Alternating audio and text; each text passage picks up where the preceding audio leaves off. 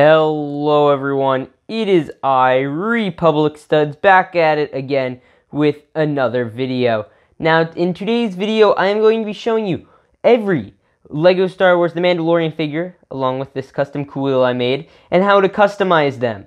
With that said, please make sure to subscribe, hit that notification bell, and comment down below what characters you want to see from Season 2, and we'll get right on into it. The Mandalorian Season 2 is coming out, and I want to do a little recap of all the figures we've gotten so far from the Mandalorian show. So what I'm going to be doing today is showing you every single figure from the Mandalorian show and how to customize them. Here is the Mandalorian himself, um, Din Djarin. Now, the main way you would customize him, you either make him have a face print or not. I would, if you were, I'd personally use Cassian Andor's face and hair but you never really see it, so it's not really worth it. And what I did was I bought a Cape Cantina cape. Um, you'd use code RStuds promo for, I believe, 10 to 15% off if you want your own. And it basically covers his entire torso, and there's like printing back there. And there's printing on it that covers the Mandalorian minifigure almost beautifully. Um, I personally don't have these at the moment, but Firestar Toys also sells custom printed uh, arms that you get for the Mandalorian, which I've heard really bring him out, as well as a custom helmet if you know this one isn't your cup of tea. Um, apparently, this one is like the Death Watch one, but they just kind of took off the markings, which I find pretty interesting. I, I, would have liked them to do something different, honestly, since he's the main focus and character of the show. I gave him this little pistol right here, uh, which I think is pretty cool. And yeah, let's move into the next figure. Next up, we have a very grumpy looking Greef Karga from The Mandalorian Season 1, and he's going to be in Season 2. But this was from the Razor Crest set, and it's pretty cool. I like him a lot. He has these two nice little pistols that I gave him, and I also gave him this cape. Now, I'm not sure where the cape's from. I know I have it in my collection, but it works almost perfectly with this, um, because this color matches his arms, and this color matches his, uh, you know, torso. So I thought that matched really well. You could also reverse it, but I think it looks better like this. Um, it's honestly just a really fun figure. I didn't really have too much to do with him. I wanted to get one of the smaller capes that we see like on the Man new Mandalorians, but I didn't find anyone with the correct color.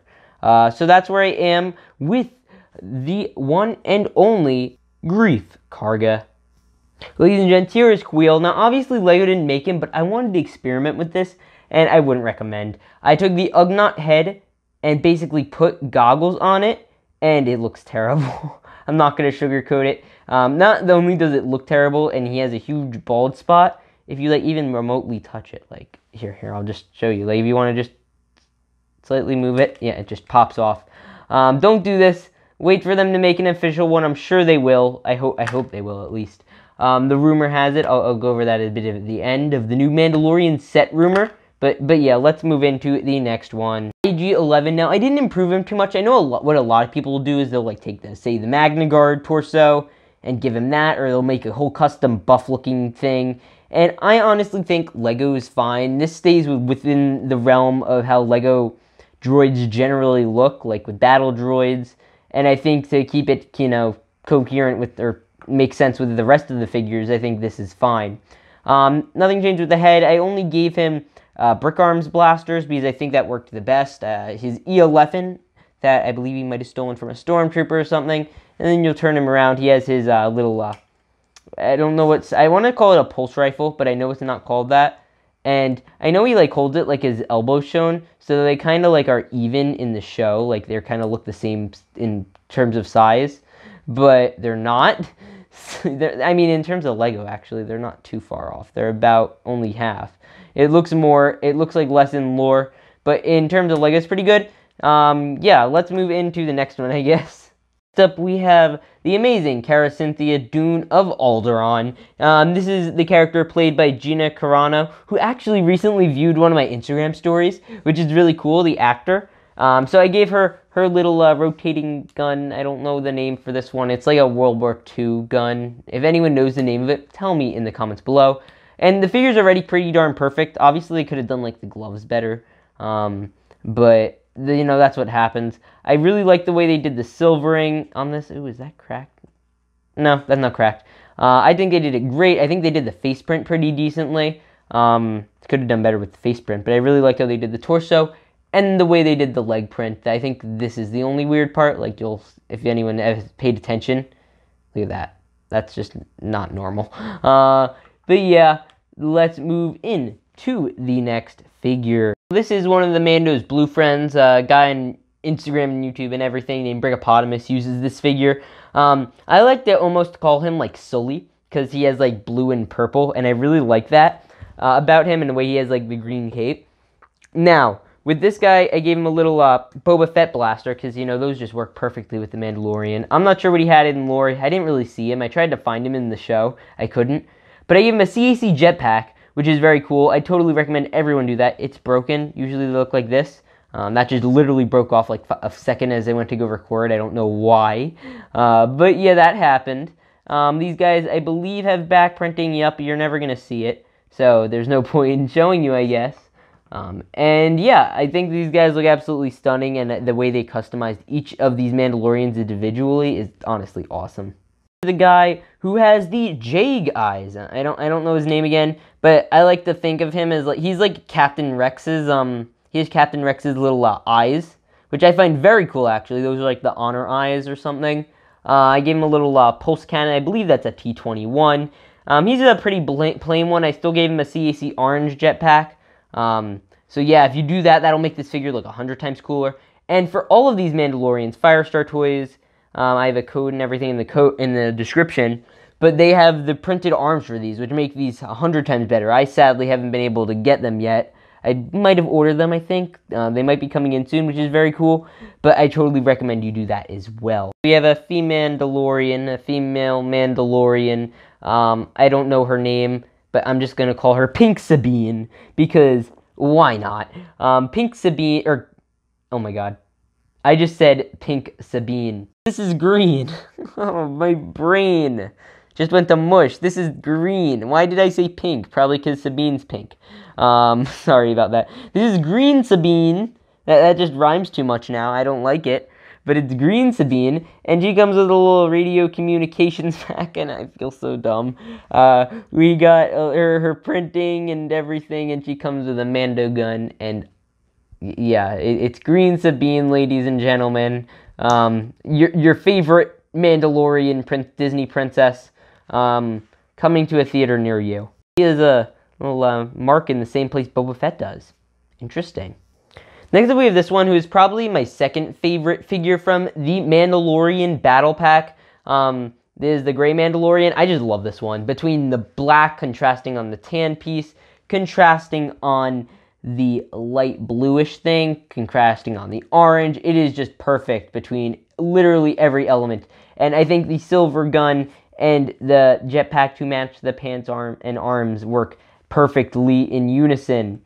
I honestly couldn't think of a better combo for this figure. I like everything about it. It is perfect. It's a nice. it look almost looks like that looks like Fresh Beskar. Is that Fresh Beskar? That kind of looks like Fresh Beskar. But yeah, let's move into the final three figures, and then we'll get into the outro. One of the thugs. Um, I always I thought these guys looked a lot like the guys from Return of the Jedi and Jabba's like sail barge and everything. Uh, apparently they're not. They're like these weird dog creatures, but they don't look like the dog creatures in this. If I'm being completely honest.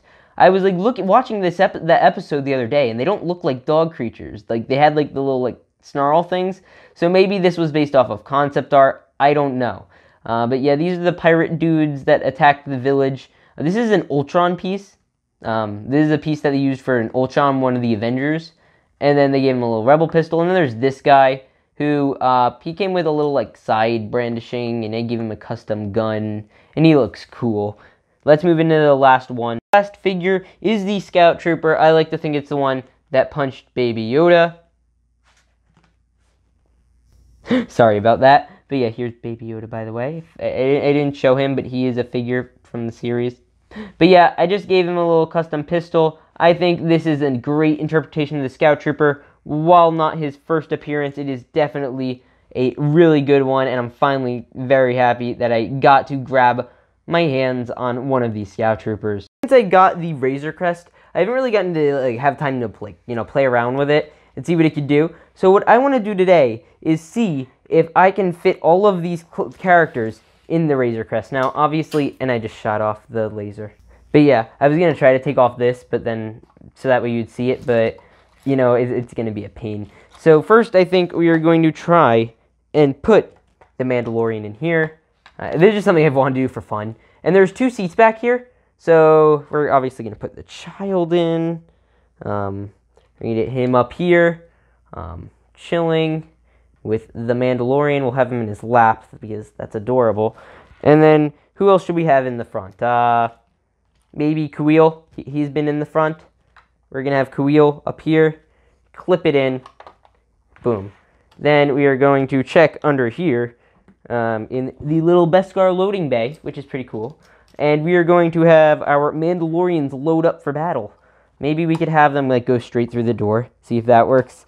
Um, but yeah, they're they're ooh, and that following too. Um, we're going to have them going run in and then boom, uh, boom, and then we're just gonna you know find the other Mandalorians and have them squeeze in. Come on, guys. You, there's room for more. And then the Mando is gonna have everyone drop out at once, and then it's gonna be great, and it'll make a really cool movie that you can buy action figures from. Then we're just gonna shove Cara Dune and IG-11 up there and get, stay in there. Stay in there. Like that, everyone is loaded up. Oh, wait, wait, sorry. Um, there we go. Everyone's loaded up, all perfect and brand new. Um, in here with the, and something fell out. Uh, we got this guy. Poor guy. You're wondering where some of the other people are. We got uh, this guy right here. And in the escape pod, we have his friend because, you know, his friend was like, I don't belong here. And then he just got in the escape pod. But yeah, so now we could, can't wait to see in The Mandalorian season um, two, where, you know, the scout trooper is just standing here, and then Mando, you know, just flies up and then goes whoosh, and then he just, like, you know, and everyone just falls out on him, and then it's going to be great. That's going to be the season finale, ladies and gents. I'm sorry, I spoiled it. The Mandalorian just dive bombs everyone, and then, you know, he escapes with Baby Yoda because that's all we care about. with that said, let's get into the outro. If you guys enjoyed the video, now, obviously, if you want to get this custom cape on the Mandalorian, go to Cape Cantina and use code uh, RStuds promo to save yourself, I believe, 10% off. So if you want that, it's like three bucks. I totally recommend. Shipping is super cheap, even internationally. And yeah, so with that said, please remember to subscribe, hit the bell, do all the other buttons. I really appreciate everyone watching. We're so close to the Mandalorian coming out. And I will see you all in the next one. Peace out and stay awesome.